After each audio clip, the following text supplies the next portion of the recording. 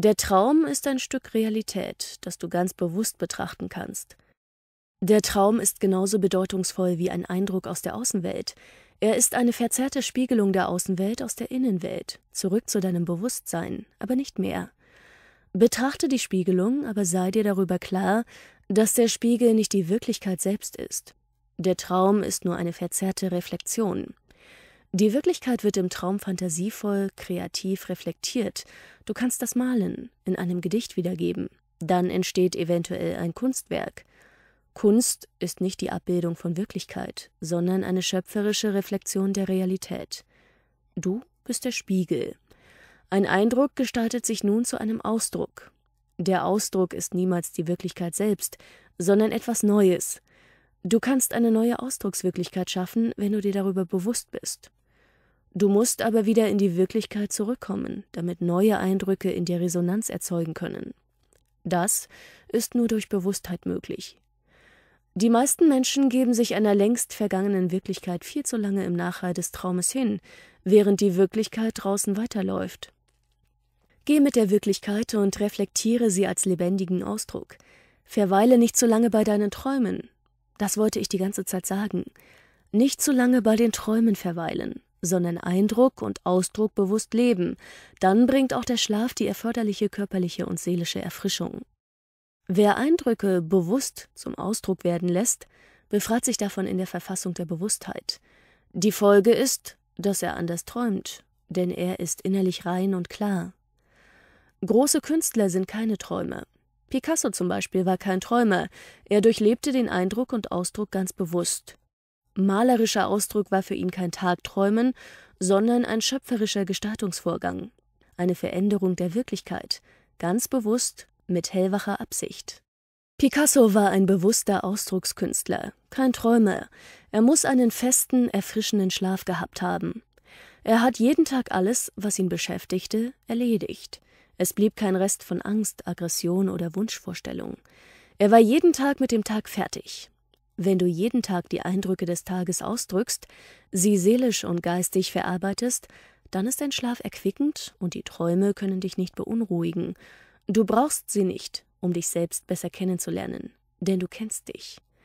Wer sich tagsüber nicht ausdrückt, wer die Eindrücke innerlich aufstaut, wird nachts von den Eindrücken verfolgt, denn der Traum holt nach, was am Tag nicht mit Bewusstheit geschehen ist. Wenn die Nacht dafür nicht ausreicht, dann träumst du auch am Tag. Du verlierst dich in einem seelisch-geistigen Prozess, der dich ermüdet. Werde ganz bewusst und du fühlst dich frisch, vital und gesund.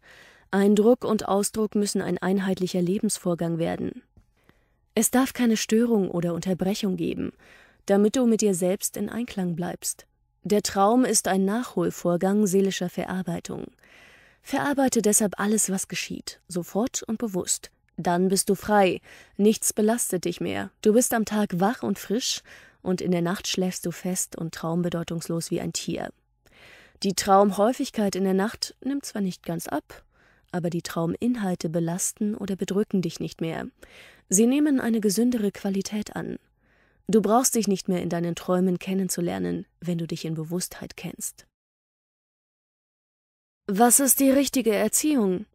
Ich erziehe manchmal autoritär, dann wieder unautoritär. Klaus, 35 Jahre, Betriebswirt, verheiratet, zwei Kinder, zehn und sechs Jahre alt. Klaus, ich möchte mir Rat zur Erziehung meiner beiden Söhne einholen, in der Hoffnung, dass es noch nicht zu spät ist. Die Kinder machen mir große Schwierigkeiten, besonders der Älteste. Er ist einerseits ängstlich, aber auch sehr aggressiv.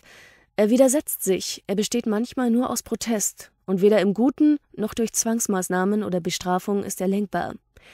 Vielleicht habe ich den Fehler gemacht, einerseits nachgiebig zu erziehen, dann aber wieder streng und autoritär. Das war sicherlich grundfalsch. Ein Kind, das einerseits Freiheiten erhält, die es ausleben kann, aber andererseits Freiheiten streng beschnitten bekommt, wird unsicher. Die Eltern sollten einen einheitlichen Erziehungsstil praktizieren. Ich halte nicht viel von autoritärer Erziehung, die mit Zwang, Disziplinierung, mit Geboten und Verboten auf das Kind einwirkt. Aber es ist besser, wenn ein Stil konsequent praktiziert wird, als ein ständiger Wechsel zwischen Zwang und Nachgiebigkeit. Das Kind möchte sich orientieren, es will wissen, woran es ist. Es sucht nach Klarheit und Eindeutigkeit.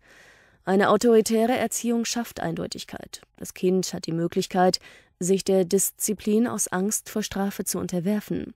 Oder es kann dagegen rebellieren. Selbst wenn es ständig dagegen rebelliert, ist das besser, als wenn es ständig schwankt, weil es sich aus der Rebellion entwickeln kann, sich selbst dabei intensiv kennenlernt.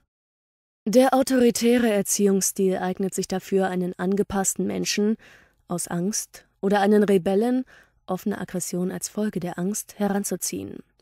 Angst und Aggression sind die seelischen Probleme autoritär erzogener Menschen. Der autoritäre Stil bringt für das erzogene Kind und die Gesellschaft große Probleme mit sich, die von den meisten nicht erkannt werden. Die unautoritäre Erziehung lässt dem Kind mehr Freiraum und Spielraum, sich selbst und die Umwelt zu erfahren. Dieser Erziehungsstil ist für die Eltern viel unbequemer, weil das Kind viele Erfahrungen selbst sammeln muss und die Eltern anschließend wissbegierig danach fragt, was richtig und falsch ist. Das Kind möchte sich orientieren. Eine Erziehung durch Gebote und Verbote ist einfacher. Es gibt keine Diskussion. Fragen werden nicht beantwortet, es geht um Gehorsam, basta. Anderenfalls wird bestraft. Eine Erziehung ohne Zwang und Druck, ohne Bestrafung, führt dazu, dass das Kind alles selbst ausprobiert, zwangsläufig viele Fehler macht und viele Fragen stellt. Das ist den meisten Eltern lästig, weil sie nicht genug Geduld und Zeit für ihre Kinder haben. Die beste Erziehungsweise ist eine Erziehung mit viel Liebe. Wenn man sein Kind von Herzen liebt, dann besitzt man automatisch die erforderliche Aufmerksamkeit, die das Kind braucht. Liebe ist geduldig und tolerant. Durch Liebe ist es möglich, dem Kind die Freiheiten zu gestatten, die es braucht, um sich selbst zu finden und sich selbst zu erfahren, auch in gefährlichen Situationen. Das Leben ist gefährlich, Gefahren lauern überall, man kann nicht alles verbieten, nur um das Kind zu schützen. In einer sterilen, gefahrlosen Umwelt kann das Kind nichts über sich und das Leben lernen. Das Kind sollte sich so entfalten, wie es ihm gemäß ist, nicht so, wie man selbst es sich erträumt, dass es sein sollte. Man darf nicht den eigenen Ehrgeiz auf das Kind projizieren, damit es ein Renommierkind wird, damit man mit ihm angeben kann. Ein Kind sollte nicht brav sein, sondern natürlich. Es ist natürlich, dass Kinder neugierig sind, alles kennenlernen wollen. Kinder kennen keine Tabus, sie sind im höchsten Maße schöpferisch, viel schöpferischer als die meisten Erwachsenen, die ihre Kreativität durch Konvention und Anpassung geknebelt, unterdrückt und versteckt haben. Das Schöpferische des Kindes ist für den Erwachsenen anstrengend. Ein natürliches, frei erzogenes Kind hat aus dem Augenblick heraus unerwartet eine spontane Idee, mit der der Erwachsene nicht rechnet. Er muss sich wach und bewusst auf ständig Unvorhergesehenes einstellen. Das freie Kind ist undiszipliniert, es kennt keine Routine. Der disziplinierte Erwachsene ist in einem Routinekreislauf erstarrt. Er fühlt sich von der Schöpferkraft des Kindes überrollt und bedroht. Er wehrt sich gegen das Kind, Kraft seiner Autorität, Liebe zu geben oder zu entziehen.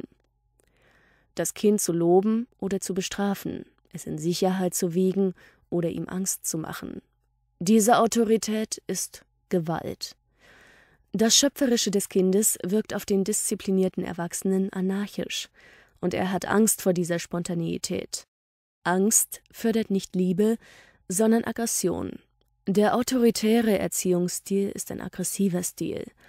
Um die schöpferische Energie des Kindes akzeptieren und mögen zu können, ist viel Liebe erforderlich. Eine Liebe, die ich in meinem Buch Die Liebe beschrieben habe.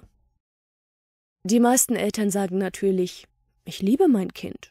Sie sind entrüstet, wenn man ihnen sagt, du hast Angst vor deinem Kind, du liebst es nicht wirklich. Das kann man so unverblümt keiner Mutter und keinem Vater ins Gesicht sagen, obwohl es die Tatsache ist. Es bricht sofort ein Sturm der Entrüstung und der aggressiven Verteidigung los. Du solltest dir weniger Gedanken um den Erziehungsstil machen, sondern deine Kinder lieben. Nur aus der Liebe heraus ist es möglich, die Unbequemlichkeit auf sich zu nehmen, die schöpferische Seele des Kindes zu verstehen. Verständnis erwächst nur aus Liebe. Ein Kind, das ich nicht liebe, soll sich möglichst still und ruhig in eine Ecke verziehen, damit ich es nicht wahrnehme.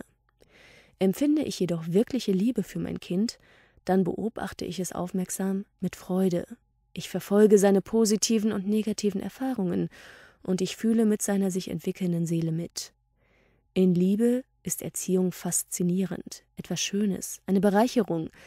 Bei fehlender Liebe ist Erziehung eine Belastung, ein großer Stress.